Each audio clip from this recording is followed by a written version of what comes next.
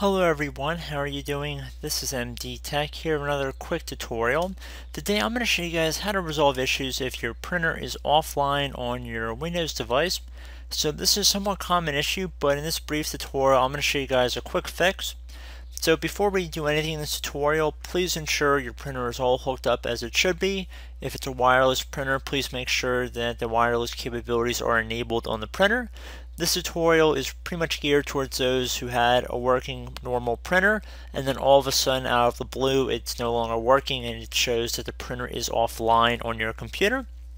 So we're going to jump right into it and we are going to start by heading over and opening up the start menu and we're going to type in devices and printers. On Windows 10, it should come up right above Control Panel. On Windows 8 and earlier, it should just say Devices and Printers. You want to open that up. This is basically just a shortcut to get to the Devices and Printers section of the Control Panel.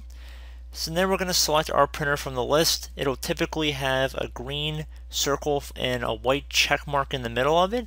I do not have one listed here because I guess I do not have a default printer, but I'm just letting you guys know that you should be able to identify your printer from this list.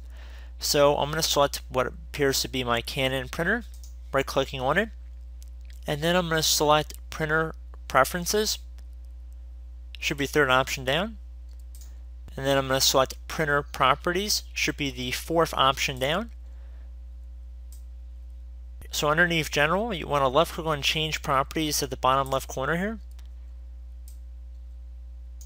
You want to go underneath ports the ports tab that comes up. So click on the ports tab now.